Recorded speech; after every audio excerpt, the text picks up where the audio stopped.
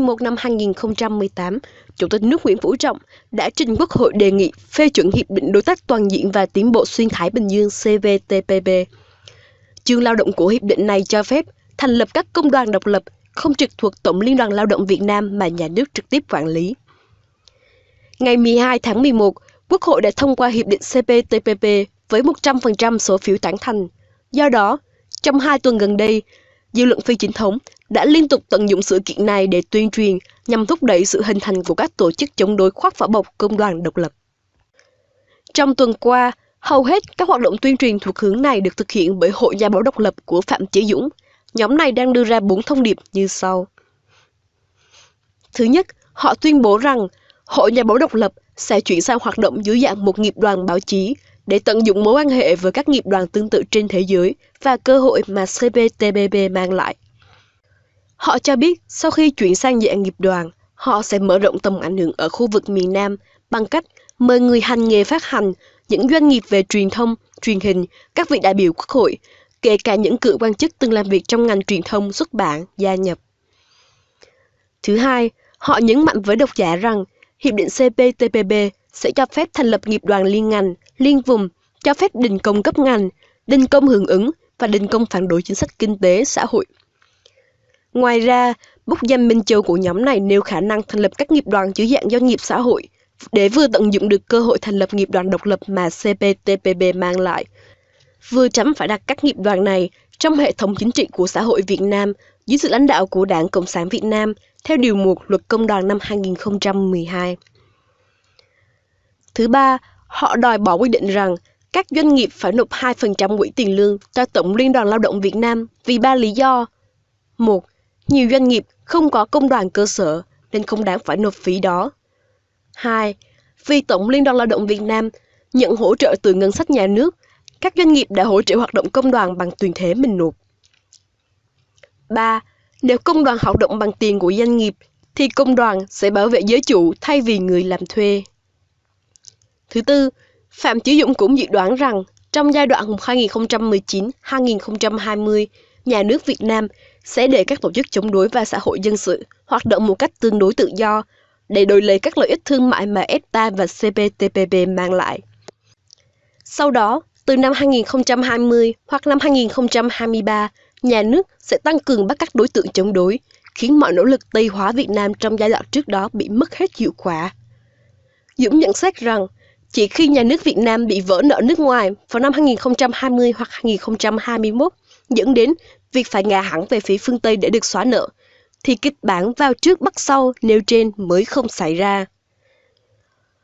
Ngoài ra, bút danh Thảo Vi của Hội Nhà báo độc lập cũng công kích một tổ chức cạnh tranh với họ là Nghiệp đoàn Báo chí Việt Nam. Đáp lại, Nghiệp đoàn Báo chí Việt Nam đăng hai bài phản bác, một bài trong số đó được viết bởi phóng viên Nguyễn Đình Nhân sống ở Pháp.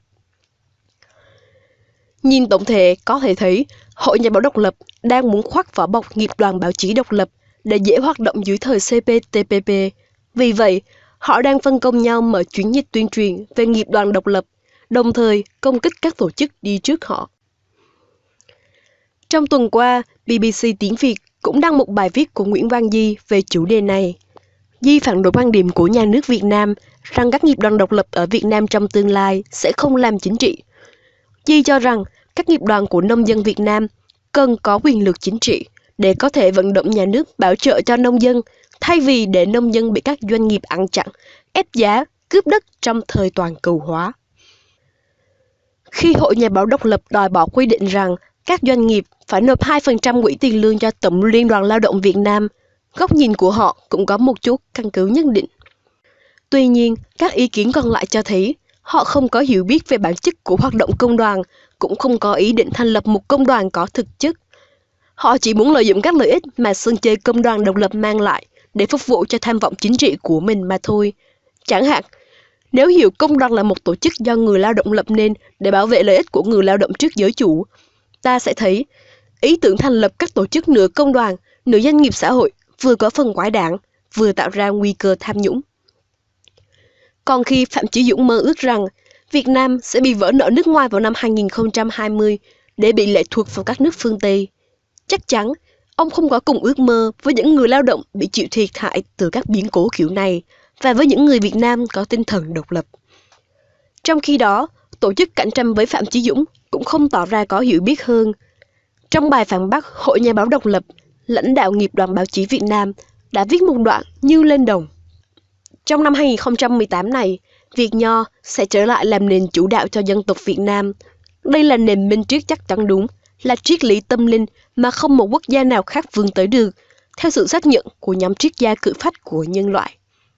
Nhiều người, như nhà báo Thảo Vi, vì không phân biệt nổi Việt Nho và hãng Nho cho nên đã vô tình viết bài chỉ trích Nho giáo chân chính cực kỳ đáng tiếc. Tháng 5 năm 2014, cuộc biểu tình chống Trung Quốc của công nhân Bình Dương đã bùng phát thành một cuộc bạo động, cướp bóc, hôi của, khiến hơn 460 công ty bị đập phá và đốt cháy.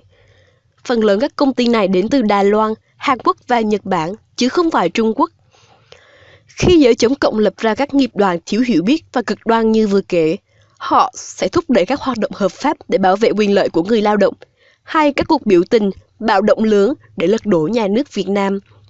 Ta có thể trả lời câu hỏi này bằng cách nhìn vào ước mơ của Phạm Chí Dũng. Về ý kiến của Nguyễn Văn Di, tôi nghĩ ông Di cần định nghĩa rõ thế nào là một nghiệp đoàn làm chính trị.